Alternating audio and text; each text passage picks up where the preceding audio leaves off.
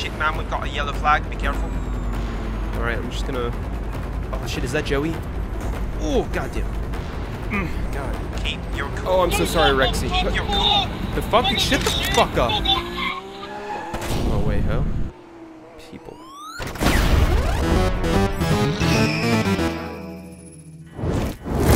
This is the car, this is the track, and this is just a crazy, crazy accident. So we have 14 laps of Zandvoort. I'm gonna hop in and show you guys my qualifying. We got the telemetry and an outside view as well for you guys to look at.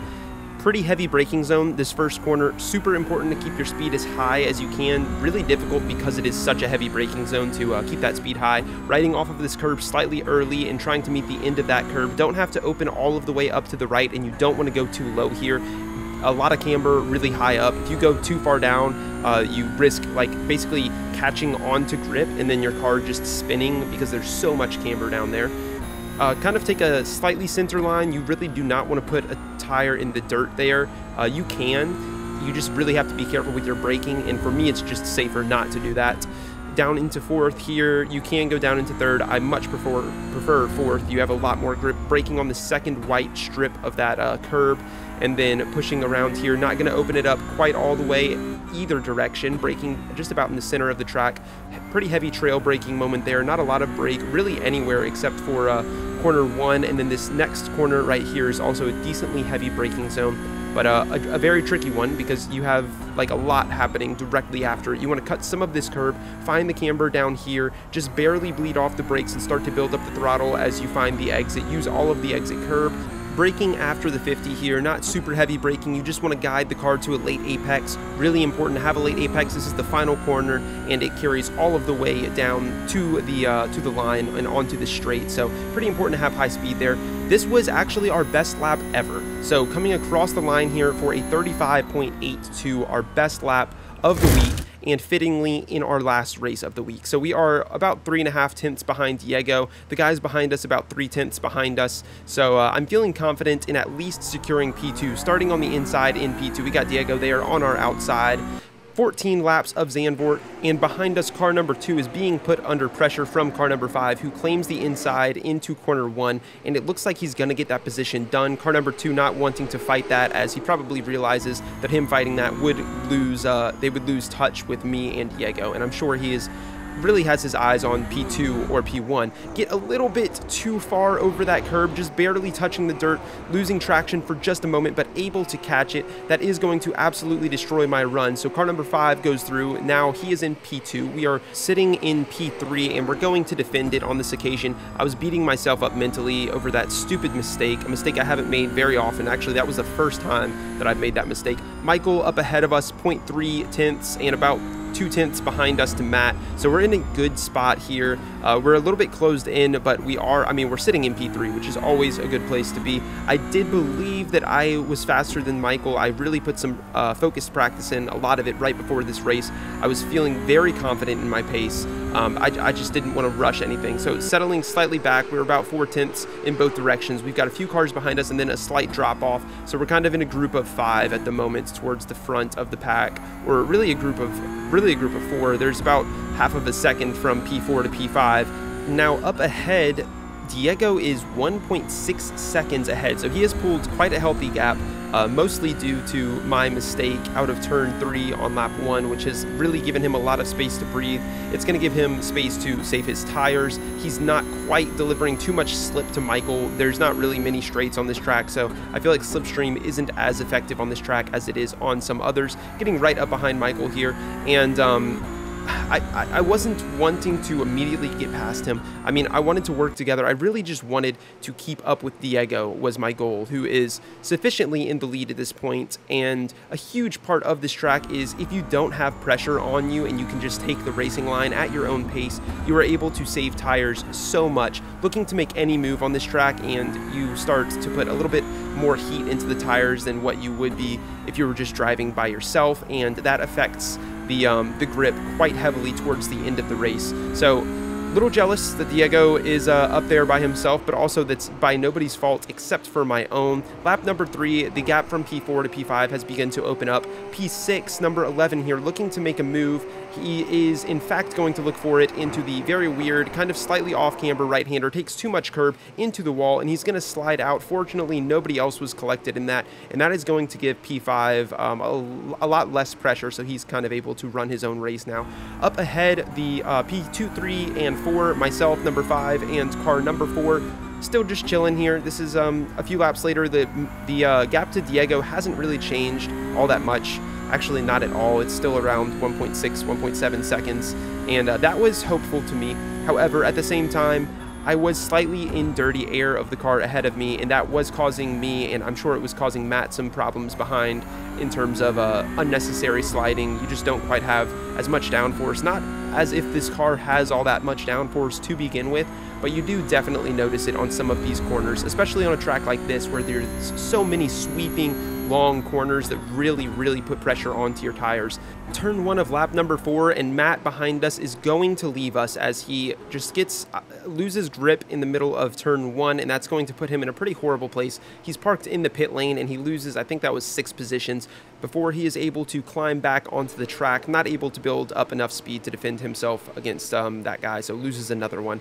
Meanwhile, we have no pressure behind us anymore, so nothing to lose, everything to gain. I do want to get around this guy. It might be smart to work together with him, but at the same time, I feel I feel that I'm faster. I, I feel very confident in my pace, and um, I think that we both of us have a better chance of catching Diego if I were ahead of him, and that may sound slightly cocky, and it slightly is, but th this is the first race where I finally truly felt confident in my pace. So hoping to get a move done, we get right up on his tail coming through here, and then he just doesn't really get onto the throttle here. It, I almost ran into the back of him, managed to avoid it, but still lost quite a bit of time there as that delayed uh, me going on to full throttle by probably a second. So we end up losing about three or four tenths there. I'm not sure what happened to Michael. You can see on the relative he drops further and further back.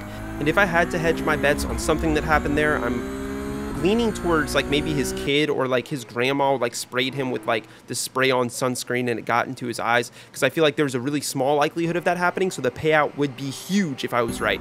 Uh, basically nobody behind us into P2 now back where we started 2.2 seconds behind Diego and I mean, really, I was feeling like this was a possible, we, we could catch this guy. Our fastest laps were less than a tenth apart, and uh, our last laps were about three tenths apart, but I was blaming that on uh, the whole incident of trying to get around uh, Michael right there.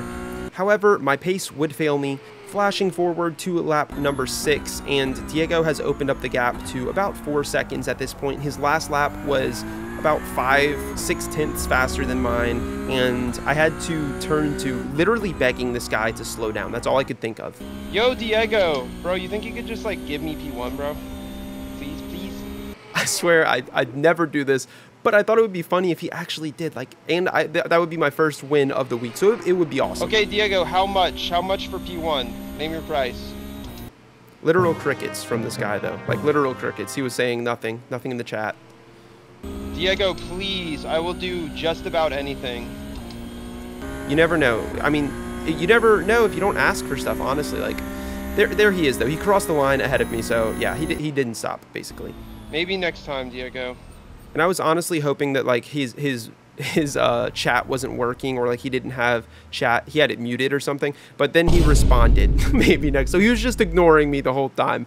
Uh, whatever. It happens this guy, this is the same guy from last race. I don't know if anybody else has watched last race, but this guy, again, is spamming the chat with like craziness. And I have to go back and see what exactly he is ranting about. So he called out like three people. This is him. He's number 14 in this race. He was car number 23 in the last race. However, there's only 17 cars this race. So just a couple of corners in, and he's going to go side by side with this guy around turn three, lap one.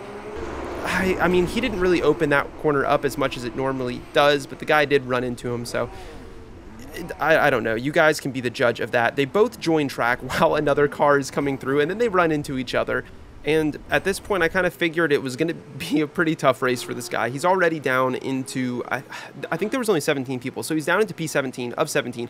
A few laps later, they are side by side as car number 13. I think he spun at some point, so 17 gets back ahead, and now car number 13 is looking to get that position back, runs into the back of him into the wall, loses his wing, but it comes back. However, he does lose his mirror, and then he's facing the wrong way. So 14 gets that position, I want to say like cleanly on his part, definitely. I mean, that was all on car number 13.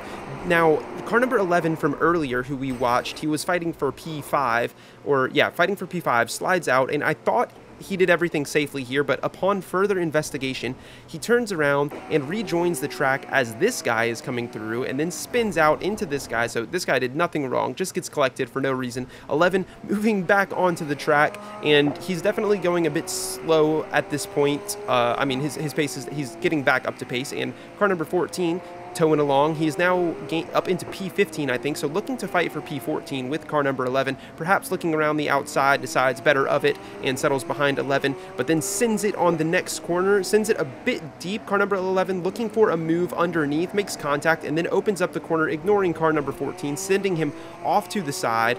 So that, I mean, already some of this stuff is valid, I think, that uh, car 14 was, was complaining about, but I mean, honestly, I don't think you should be in chat at all, especially if you're rejoining the track inside of another car. I'm not sure what happened there. He disappeared and then he came back inside of the Domino's car. Somehow, car number 11 is now behind him, and um, this guy he once again disappears, comes back with a damaged bumper. Car number five, who was the guy who probably had sunscreen sprayed in his face halfway through the race, is uh, making his way back up the order. So he was sitting in P2. He's now looking to go around car number 14, and 14 I mean, he's not really doing anything wrong defensive here. I think 5 was just much faster. And then 14 just kind of spins himself out here. So I'm not sure why he was complaining about car number 5. I don't think car number 5 did, did anything wrong there.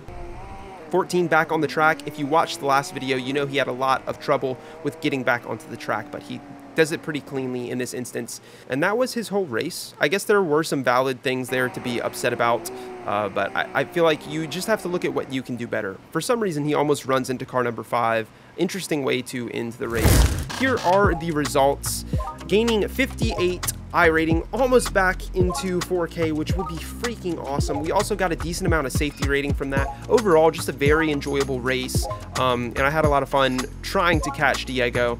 And yeah, our lap times, I think we both did this on lap three, and then our lap times just tanked from there, uh, mostly mine. Mine tanked a lot harder. Now, I do want to check real quick the standings, as this was my last race of the season. So season standings, we're going to take a peek at real quick. Division 2, because I am Division 2, and peep it, boys. I am in fucking first place!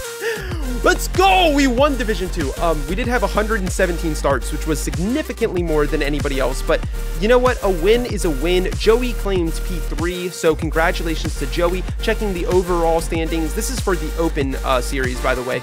P21 for us, which I'm not upset about. These guys are super fast that I'm competing with. Dalton at the top, remember that name because he's going to be on the channel pretty soon this week.